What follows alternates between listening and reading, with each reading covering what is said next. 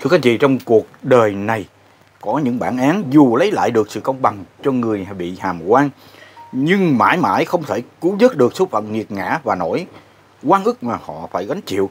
Câu chuyện của ông Trịnh Dân Cường, 67 tuổi, ở quận 6 thành phố Hồ Chí Minh là một điển hình. Ông bị bắt quan và đã được trả tự do 38 năm trước. 38 ông năm ông đi kêu quan và những người cùng bị quan như ông không may mắn như vậy. Có người đã tự tử chết trong trại giam Chí Hòa. Một vụ án kéo dài rất lâu rồi. Nhưng người bị có quyền lợi bị xâm hại vẫn chưa lấy lại được sự công bằng của mình. À, phóng viên Ba Thu Trẻ đã kỳ công đi tìm hiểu vụ việc này và phản ánh lại một cách rất chân thực trong thời điểm hiện tại. Còn nhiều mươi nhiều mươi năm trước, à, chúng tôi nhóm phóng viên chính trị xã hội đã phản ánh vụ án này và góp phần đưa ra ánh sáng vụ việc. Mà tuy nhiên, ánh sáng đã có từ rất lâu rồi nhưng vẫn chưa soi chiếu tới những thân phận khốn cùng. Dù những nhân viên công lực à, đã bị phải bị trả một giá rất đắt rồi. Ông Trịnh Dân Cường hiện ở tại một căn nhà ọp ẹp nằm sâu trong con hẻm trên đường à, Văn Thân, phường 8 quận 6. Ông nói rằng là tôi bức xúc lắm, tôi phải kiềm chế rất nhiều. Ông Cường mở đầu câu chuyện khi cầm trên tay biên bản của tòa án, trong đó ghi ý kiến của viện kiểm sát. Dù mù chữ nhưng toàn bộ giấy tờ liên quan đến vụ án cũng như những bài báo tường thuật phiên tòa mấy chục năm về trước vẫn được ông Cường giữ gìn kỹ lưỡng. Hồ sơ thể hiện đêm 27 tháng 2 năm 1985 tại nhà số 288B Bãi Sậy, phường 7, quận 6, báo tin mất trộm vàng. Sau đó lần lượt những người trong căn nhà liền kề bị công an quận 6 bắt giữ, gồm ông Cường ở rễ, ông Hồ Văn Được và ông Trần Đức Ẩn, anh em trong nhà vợ ông Cường. Quá trình điều tra không chứng minh được tội phạm nên lần lượt ông Ẩn và ông Cường được trả tự do. Riêng ông Được đã tự tử trong trại giam Chí Hòa vì bị bức cung. Sau khi được thả không lâu, ông Ấn cũng đã qua đời vì sức khỏe, tức là có ba người bị bắt quan. À, một người thì đã tự tử trong nhà giam vì bị bức cung. À, một người sau khi được trả tự do đã bạo bệnh và qua đời. Và còn lại à, một mình ông Cường chiến đấu.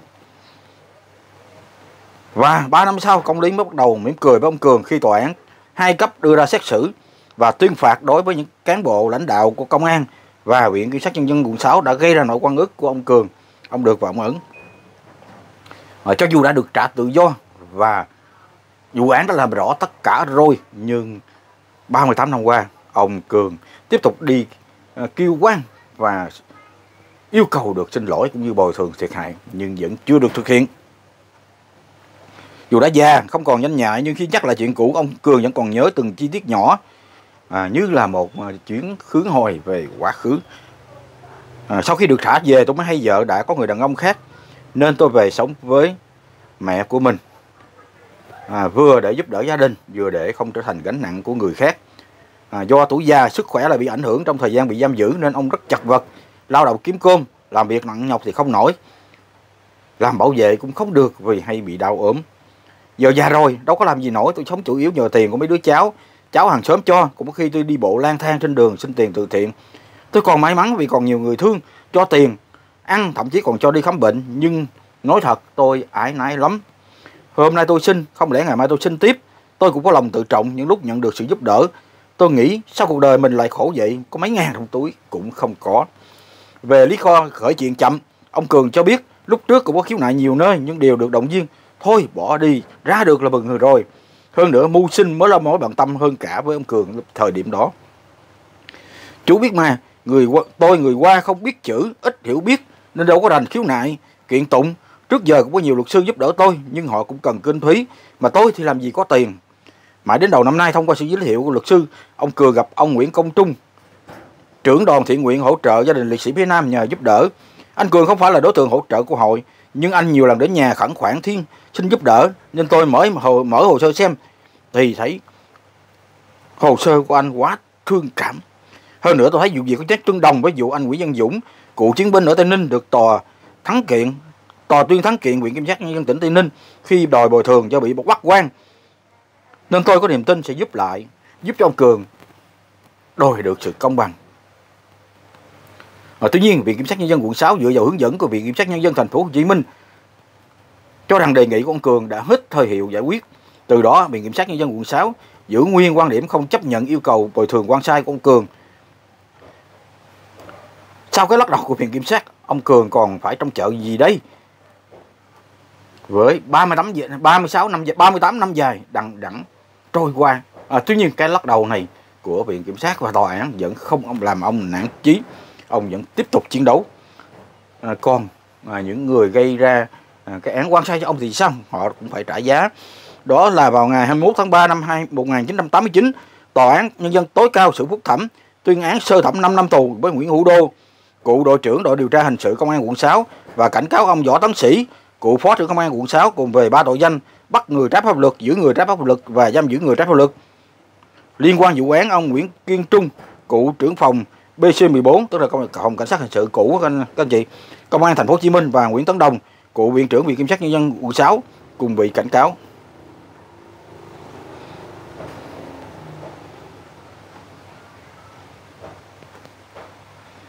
Và mới đây nhất có một tín hiệu tốt lành đã đến với ông Cường, đó là vào ngày 9 tháng 8, Tòa án Nhân dân quận 6 thành phố Hồ Chí Minh đã nhận đơn kháng cáo từ ông Trịnh Văn Cường. Nguyên đơn vụ kiện Viện Kiểm sát Nhân dân quận 6 do bị bắt quan từ 38 năm trước. Ông Cường kháng cáo toàn bộ quyết định đình chỉ vụ án của Tòa án Nhân dân quận 6, yêu cầu tòa phúc thẩm hủy quyết định đình chỉ này và chuyển hồ sơ để tòa sơ thẩm tiếp tục giải quyết vụ án bồi thường do bị bắt quan của mình. Tức là đây một vụ án khác anh chị, một vụ án xin được ờ, bồi thường thiệt hại.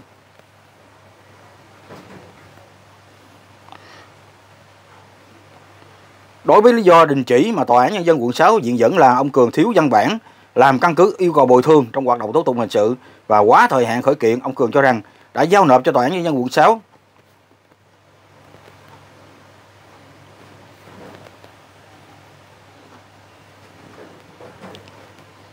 Bản án hình sự sơ thẩm của Tòa án Nhân dân thành phố Hồ Chí Minh, bản án này đã xác định người bị hại là ông Cường và những người gây quan sai cho ông Cường đã bị kết án.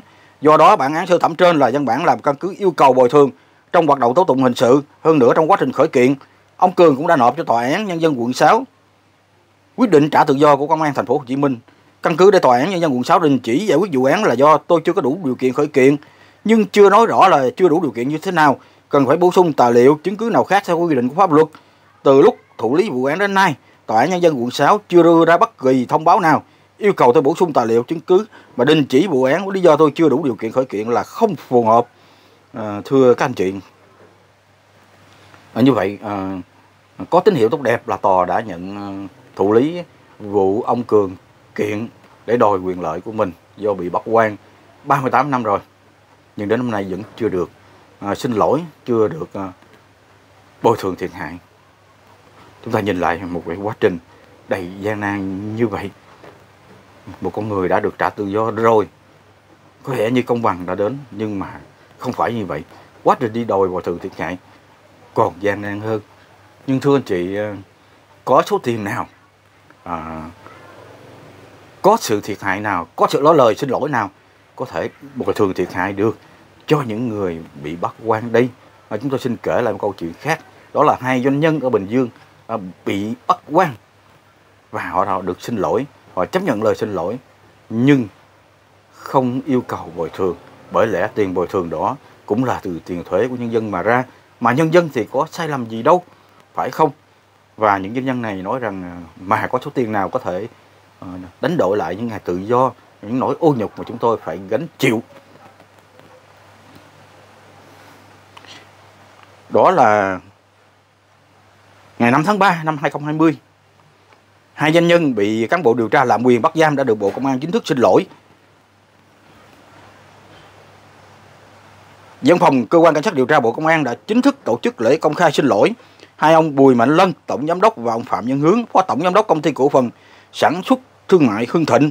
Buổi lễ được tổ chức trang trọng tại một văn phòng khu công nghiệp Đồng An 1 do công ty Hưng Thịnh làm chủ đầu tư tại thành phố Thuận An, tỉnh Bình Dương. Đây cũng chính là nơi mà các điều tra viên độc lệnh bắt khẩn cấp ông Lân, ông Hướng gần 20 năm trước. À, trước sự chứng kiến của đông đảo mọi người, Thượng tá Đặng Trọng Cương, Phó Chánh Văn phòng, Cơ quan Cảnh sát điều tra Bộ Công an được ủy quyền của lãnh đạo Bộ đã chính thức gửi lời xin lỗi tới ông Lân ông Hướng. Đây là một bài học sâu sắc cho cơ quan điều tra cần sâu sắc và toàn diện hơn, không để sai sót xảy ra trong tương lai. Sau khi nhận qua của Bộ Công an, ông Bùi Mạnh Lân phát biểu đã nhận lời xin lỗi của đại diện văn phòng cơ quan cảnh sát điều tra. Tuy nhiên ông Lân nói sẽ từ tối nhận tiền bồi thường của nhà nước. Tôi không nhận tiền bồi thường vì dù tiền bồi thường này lấy từ nguồn nào cũng là xuất phát từ tiền thuế của người dân và với những gì gia đình tôi và doanh nghiệp phải chịu đựng trong suốt 20 năm qua. Có lẽ không có tiền bạc nào có thể đo đếm được. Tức là ông ông Lân cũng như ông Hướng và cũng như ông Cường mà chúng tôi nêu trên. Ông Cường có 38 năm, vẫn chưa được nhận gì. Còn ông Lân 20 năm sau mới nhận được một lời xin lỗi và bồi thường thiệt hại. Tuy nhiên, ông chấp nhận lời xin lỗi mà không nhận bồi thường thiệt hại và ông nói rất hay. Tiền bồi thường thiệt hại dù lấy từ nguồn nào cũng là tiền thuế của người dân và có số tiền nào có thể bù đắp được những đau khổ mà tôi, gia đình tôi và doanh nghiệp của tôi phải chịu đựng suốt 20 năm qua. Không có tiền bạc nào có thể đo điểm được. Ông Lân, ông hướng kiến nghị Bộ Công an và các cơ quan chức năng không chỉ dừng lại ở việc xin lỗi mà cần tiếp tục xử lý trách nhiệm của người đã bắt giữ bắt giữ người trái pháp luật theo đúng quy định của pháp luật. Theo văn phòng cơ quan cảnh sát điều tra Bộ Công an, khi điều tra vụ án gây rối trật tự công cộng, cơ quan cảnh sát điều tra Bộ Công an đã bắt tạm giam ông Lân tổng cộng 41 ngày, bắt tạm giam ông Hướng tổng cộng 63 ngày mà không có lệnh hợp pháp. Tới nay, văn phòng cơ quan cảnh sát điều tra Bộ Công an đã xác định ông Lân, ông Hướng thuộc trường hợp được xem xét giải quyết theo luật trách nhiệm bồi thường nhà nước nên chính thức tổ chức xin lỗi công khai với hai doanh nhân này.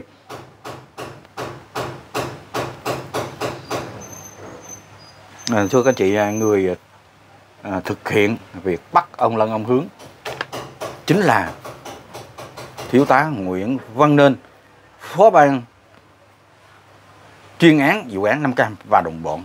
Lúc đó thanh thế của ban chuyên án rất lớn cho nên ông Nên gần như cái thượng phiên bảo kiếm muốn làm gì thì làm.